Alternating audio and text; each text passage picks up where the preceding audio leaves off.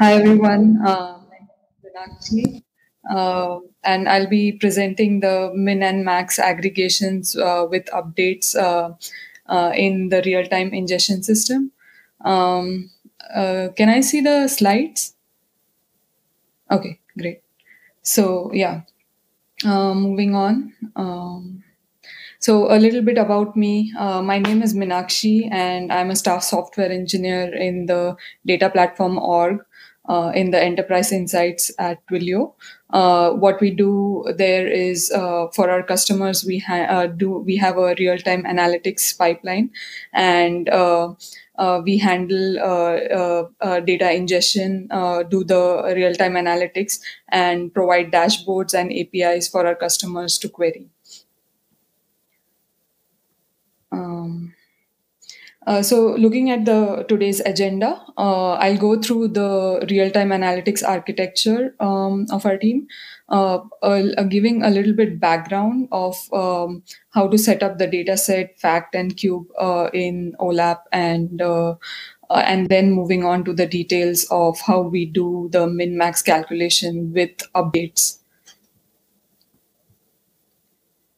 Uh, so this is our uh, uh, architecture. Uh, on the top part, you can see the uh, real-time ingestion pipeline. The bottom part shows the batch pipeline. And as the database to store or the data, we use Apache Kudu. And we have a read pipeline where we provide APIs to query that data. So uh, we'll be focusing on the real-time ingestion pipeline because I'll be focusing on the min-max aggregations during real-time ingestion. Um, so uh, during that phase, so if you can see, uh, the green circles represent the Kafka topics uh, where we get raw events from our customers, and those raw events we send it to a real-time mapper, which is a transformation, which does simple transformations um, it's a Kafka Streams app, and it does transformations like uh, converting uh, an event into an object format or cleaning up the data. And uh, again, uh, uh, after the transformation is done, it writes to a changelog topic. The, the, the events from the changelog topic are then uh, processed by a Kafka Sink connector, that is the data Kudu consumer or Kafka Connect app and then uh, basically the raw events are written in a tabular format in our database, uh, the fact uh, uh, in the fact format, and then um, you can see the real-time indexer that is our Kuber app. That is another Kafka Streams app which does the actual work that is the aggregation. Um, it also handles du- uh, deduplication, so it handles duplicates and then it does aggregation. So we support uh, sum, count, min, and max aggregations. And then again, the the uh, Connect app, the Kafka Connect app, that is Data Kudu consumer, handles the uh, using a sink connector handles these aggregated records and writes them to uh, the uh, uh, Kudu. Uh, looking at the read pipeline, we use um, Apache Calcite for optimization of the queries and then provide them via API and our dashboard. Um, uh, and then uh, the batch pipeline is just used to handle updates which are more than three days old and also do some cleanup like when accounts are deleted we delete uh, the data in our database. Uh, moving on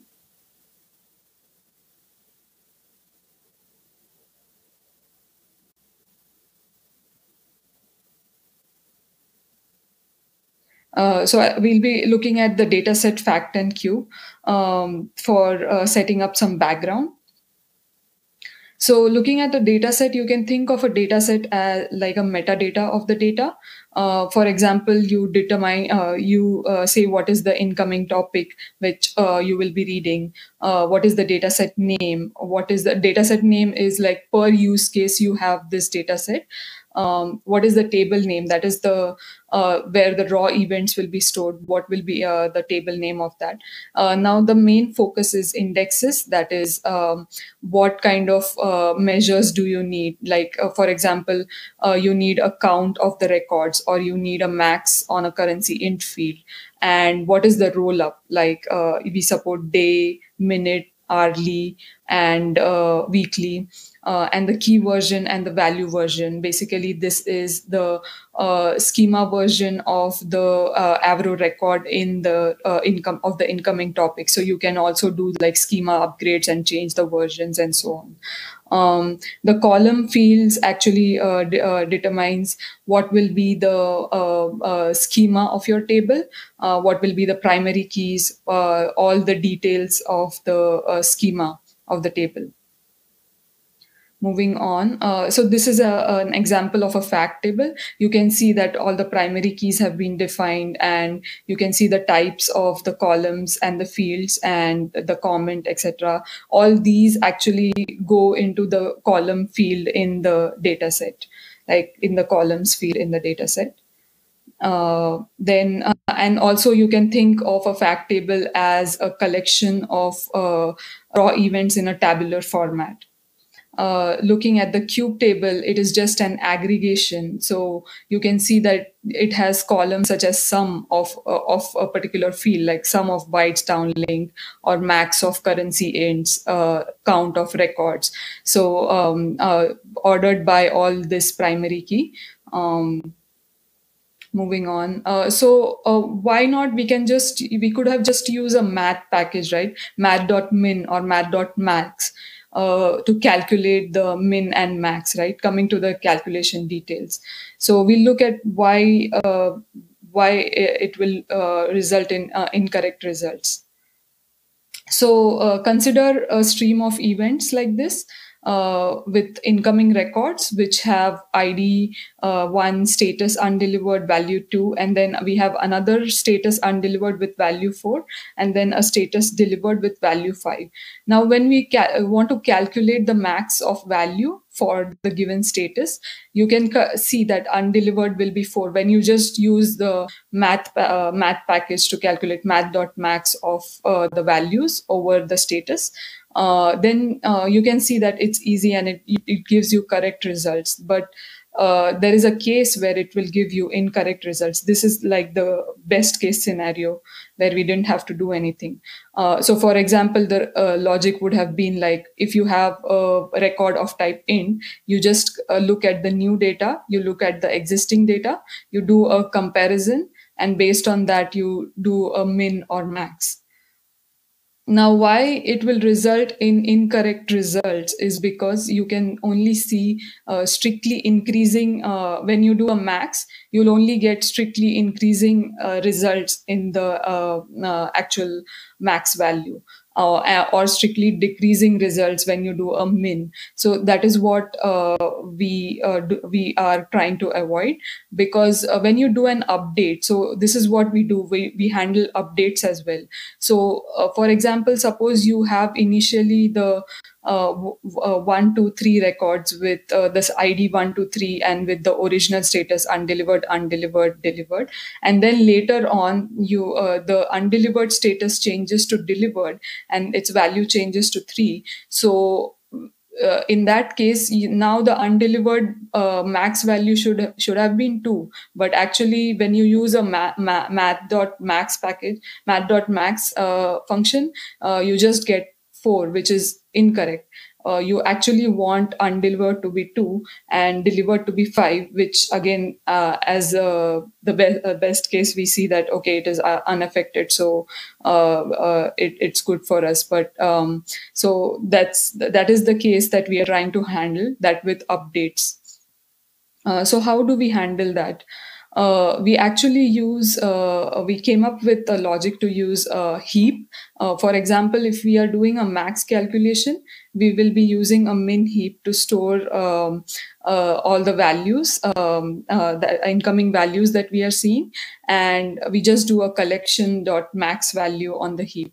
For example let's look at the same example uh, the update scenario. Uh, consider uh, only the first three steps that is when we get undelivered undelivered and delivered uh, at that time uh, if you can see on the left hand side uh, left bottom um, that uh, the for undelivered the heap contains 2 and 4 and you just do collections dot max on the heap so you get the correct value 4 and delivered the correct value is 5 and when when an update happens that is uh, we we do addition uh, we have adders and subtractors when an update happens. So uh, first the value will be uh, removed that is subtra- uh, removed from um, uh, the uh, uh, aggregates. So uh, when you do a remove of undelivered 4, the value will actually be removed from the heap and then uh, you get the max value by just doing a max of the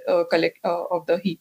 So you get the correct value that is 2 for undelivered and the delivered still remains unchanged. And the next step would be adding of the delivered 3 so the delivered will be added to the delivered min heap uh, and then you get the correct value as 5 um, uh, so uh, that uh, we have used uh, that logic. Um, some of the details uh, that I would like to go through is um, we always try to store. For example, the min heap will have the it will try to always store the largest values when doing a max calculation. So you'll always get, get the um, ma- um, um, max value most of the times, and um, uh, when you're trying to replace like for example if the heap you the heap size is limited. So when you're trying to replace an element in the heap we always do a comparison with the root.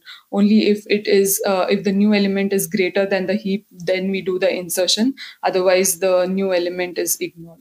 So uh, those were uh, some of the interesting details that went into the min and max calculations so that's it I have for today. Uh, let me know if you have any questions.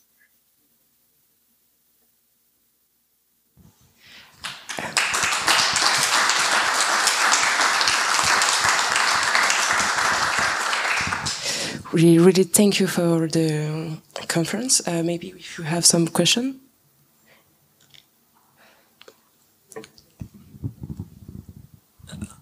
Hello, hi, this is Ankush. Um, I was curious about uh, the real world use case where why is this data getting updated? Like first it was undelivered, then it switched to delivered. And do you have to then keep this history, the array min, min heap you were talking about for a long time? Can the data from one day ago, one week ago, or one month ago change? Because then that might mean you need to store a lot of history, probably. Right. Right. So, uh, so uh, the uh, answering your uh, first, uh, uh, second question, that is um, how much data we need to store. So we need to store only until the roll-up time. So if you are doing a day aggregation, then we just need to store it for the day, and that will be handled by the RocksDB state store provided by the Streams app itself.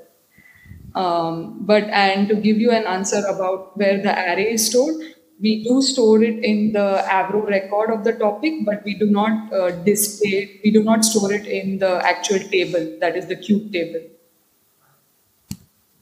And uh, can, can you uh, repeat your first question?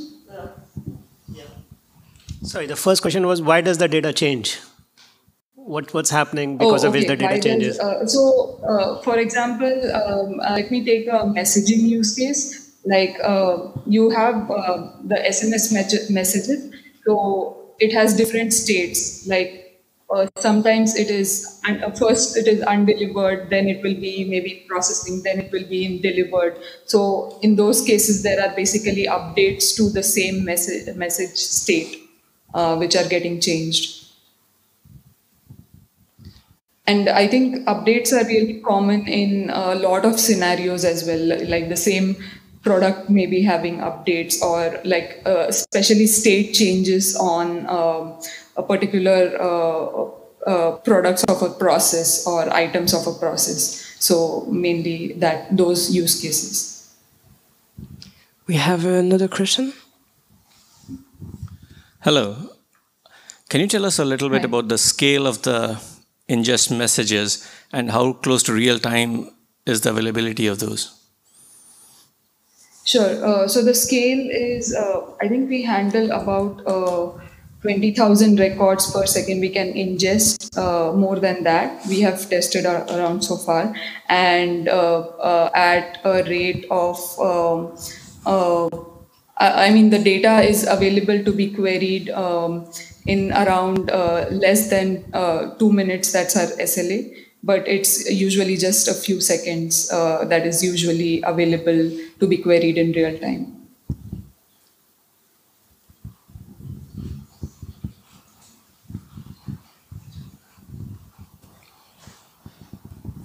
Hello. Um, have you considered uh, implementing this uh, logic using uh, Spark or Flink? And what was the trade-off, if so? So we do use Spark in our batch processing. Uh, if you have, uh, if you, uh, there was a batch pipeline, so that is Spark based, and there the min and max are directly available. So for for the batch pipeline we directly used uh, those. But we haven't tested uh, uh, spark uh, in a real time ingestion scenario. We haven't uh, done that uh, part. Yeah we still have three minutes if we have more questions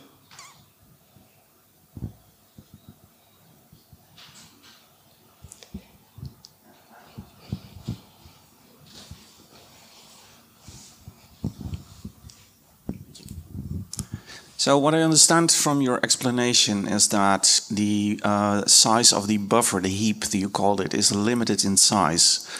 What happens right. if you have more state changes than the size of your heap?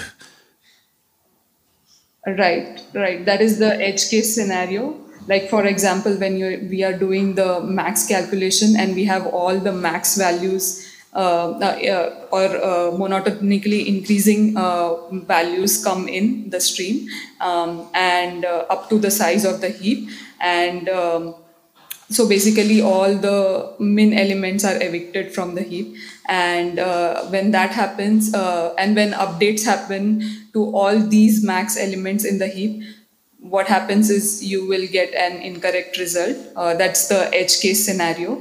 Um, yeah uh, uh, basically it will either uh, give you the current whatever the rec- the new records value as the max value in that case which would be not right is, is that a problem in your use case Sorry? Uh, is that a problem in your use case? As in, uh, does something break if it gives the wrong answer? Or is it just a dashboard that shows something incorrect to a business user? Yeah, it would be an incorrect. Uh, um, I would say uh, it wouldn't be, I mean, it would be an incorrect, but it would be uh, also based on your heap size and your updates to the uh, uh max values of your heap. Okay, thank you. Uh, in, in case of max calculation. Yeah, so it's like a really edge case scenario. Okay, thank you. Yeah. Yeah, sure. Maybe we have the time for one last question.